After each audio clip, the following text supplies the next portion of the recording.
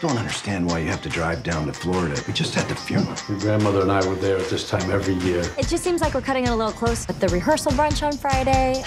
I'm just freaking out. I know. Can you take my car, sweetie? I need the SUV for the wine.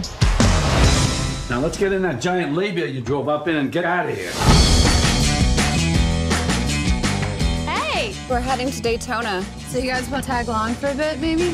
Party some babies into us? Oh. We're not going to Daytona. Bam, are you kidding me right now? Grandma's funeral was yesterday. She told me on her deathbed, you get back out there again. Hey, Grandpa. Did he just call you Grandpa? What the? F- Want to be a lamb and get that for me? Did you ever go on spring break? No. hey, you know one in three of these girls has herpes, even if you can't see it. Whoops. That never usually happens. Really, it happens to me all the time.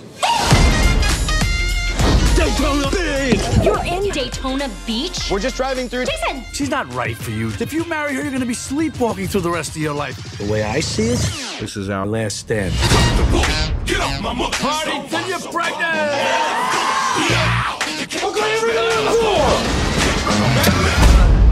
This is crack. I just smoke crack? Yeah, but just like a lot. I just smoke crack.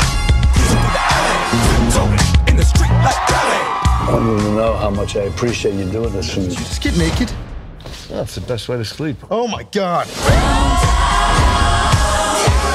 I want you to tear open my bra like it's a social security check. Now fumble around and pretend like you're trying to find your glasses.